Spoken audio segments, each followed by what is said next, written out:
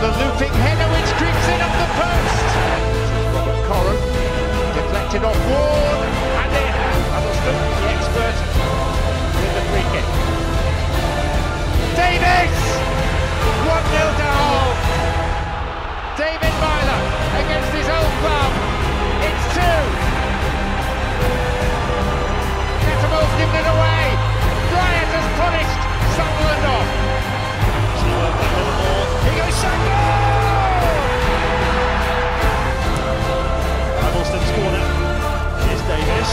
Sagbo. And Fryatt! Lena through to Tom Huddlestone! Brilliantly taken! Good ball, Livermore is onside. A chance for four, and it's taken. And here's a chance for Meyler!